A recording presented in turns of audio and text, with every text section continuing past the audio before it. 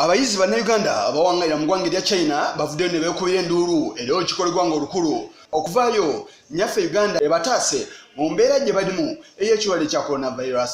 Wetwogeera abantu abawerako bakoseddwa olw'ekirwadde kino era ng'abasinga ku bo baggwanga lya china. Abantu abawerako abasoba mu bibiri be bakafa olw'ekirwadde kino kya coronavirus ate abasoba mu lukumi be balina obulwadde buno eggwanga erya china n'amawanga amalala galiranyeewo. Gegamu kwago agalina ekirwadde kino wabula nyaffe uganda ebadde tennabafunayo omuntu yenna ateeberezebwa kuba na kirwadde kino newankubadde nga waliwo abeesoga uganda era nga bali mu kwetegerezebwa. Abayizi okuva mu ggwanga erya china obubaka buno babuyisiza mu bubaka latif sebagala sengendo.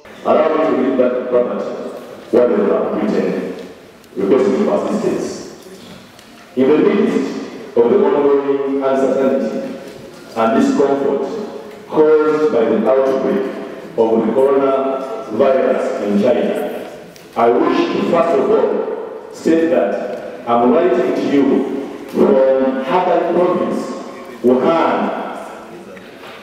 Wuhan, the epicenter of the tragedy. The statement focusing on the plight of Ugandan students in Wuhan.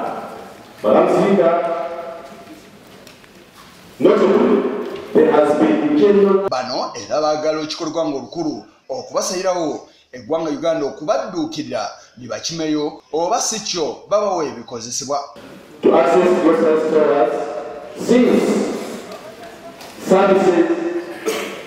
have been stopped around the campus. Madam Speaker, secondly, the skyrocketing price of commodities has greatly ono awagiddwa ababaka batali wamu omuli omubaka wa kampala central muhammad nseruko ategeezezza nga kino wekikosa sinyaffe uganda yokka si bayizi bokka wabula ne bannayuganda abawerako abawangayira mu ggwanga erya china.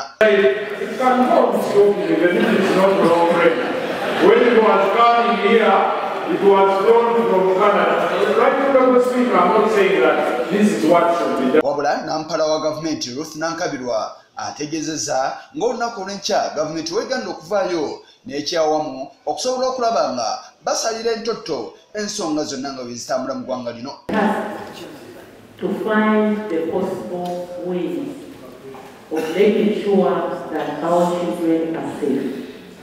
Evacuating them and maintaining them in Uganda when they are here quarantined or omufuliza w'ekikolebwa nga olukulu rebeka lutwala kadaga ategeezezza nga naye bwe yafunye okwemulugunya okuva mu bannansi abalala abawangayira mu ggwanga erya china nga baagala bayambibwe the.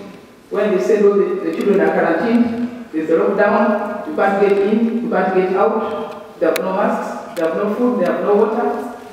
I contacted quickly the ambassador in China and also the PS Foreign Affairs to ensure that the government uh, handles, but it can't be only two. I think all the children everywhere are endangered.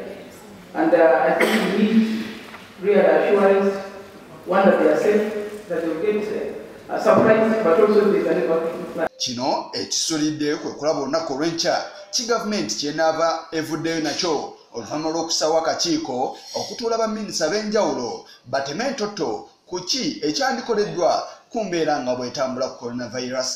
Isa kigongo ku lwa channel 44 olweggulo